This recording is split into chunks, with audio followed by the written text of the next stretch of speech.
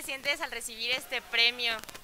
Bueno, eh, la verdad es que es un orgullo para mí, refleja el trabajo de muchos años, no solo mío, el de varios compañeros que admiro, que los he seguido en su carrera y la verdad es que estoy muy contenta de que me hayan considerado para este premio. Merecido lo tienes y espero que recibas muchísimos más premios. ¿Cuántos años llevas de carrera hasta el momento y todos los que te faltan?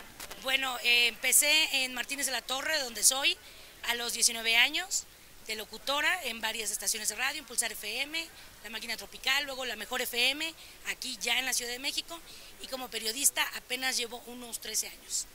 Muchas felicidades y nos sentimos muy orgullosos en el Capitalino de tenerte dentro de nuestras filas y todo lo que te viene. Gracias, muchas gracias, gracias Capitalino.